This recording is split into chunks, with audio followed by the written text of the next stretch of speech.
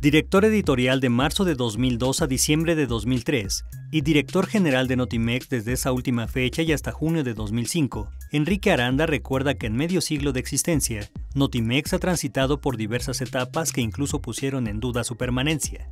Un reto que se vivió y se superó con la ley que crea la Agencia de Noticias del Estado mexicano a partir de una clara perspectiva, por lo que llama a tener presente la esencia de ese concepto. A mí me parece que cualquier Estado, cualquier Estado en cuanto tal, sea del gobierno, la, eh, venga el gobierno de donde venga, eh, me refiero a los partidos, debe contar con una agencia de noticias. Es una ventana al mundo, es una posibilidad de ofrecer visiones alternativas, criterios, puntos de vista, de, enseñar la realidad del país eh, de una manera pues, profesional, objetiva, etc. Yo creo que es importante manejarlo. Siempre estuvimos en la idea de que había que cambiar la agencia.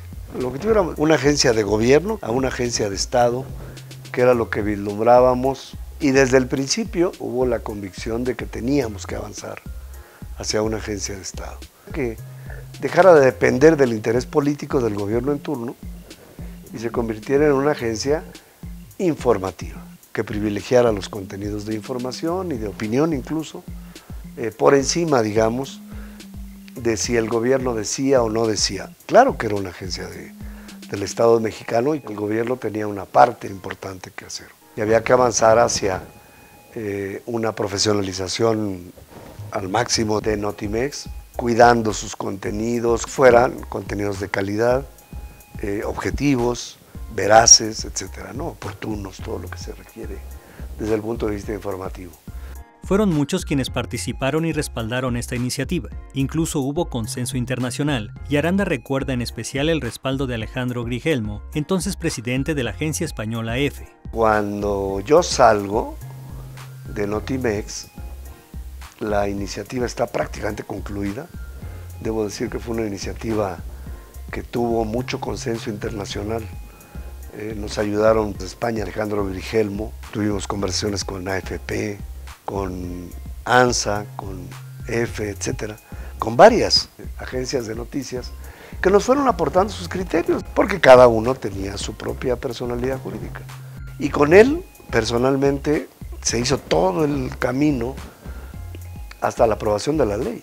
Hay que decir que la ley se aprueba, si no mal recuerdo, en, junio, antes de la elección presidencial, y, la ley pasa por el Congreso sin oposición, solo una abstención en la Cámara de Diputados.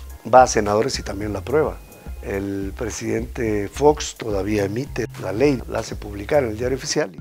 Como director general de Notimex, Aranda Pedrosa tuvo visión para la cobertura periodística en la agencia y así fue el primero en asignar una corresponsalía para el Vaticano, integrar una coordinación de negocios y un área de infografías, todas ellas con fuerte presencia hasta la actualidad.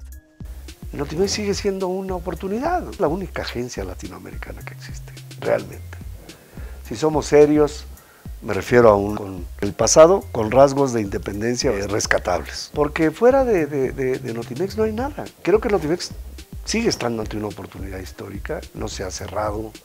Ese capítulo, esa puerta de oportunidad esa franja de oportunidad. Por eso pienso yo que es insuficiente, porque podríamos ir todavía mucho más adelante y construir una agencia pues, que compita con las, con las mejores del mundo, porque tiene presencia, tiene profesionales, tiene experiencia.